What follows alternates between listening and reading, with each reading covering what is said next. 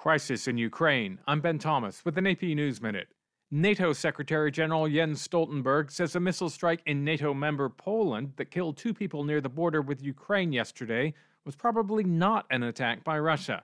Charles de Ledesma has a report. Our preliminary analysis suggests that the incident was likely caused by a Ukrainian air defense missile fired to defend Ukrainian territory against Russian cruise missile attacks. At a briefing, Stoltenberg added NATO has no indication that Russia is preparing action against any member of the 30 nation military alliance, but he said the incident happened because of Russia's war against Ukraine.